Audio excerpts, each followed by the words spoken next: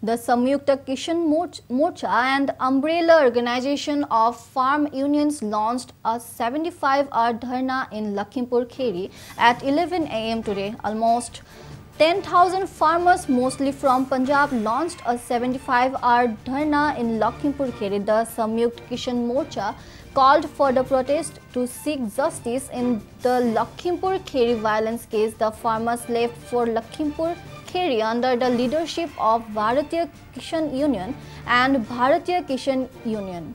Farmers Sangrur and Barnala districts on SKM's call.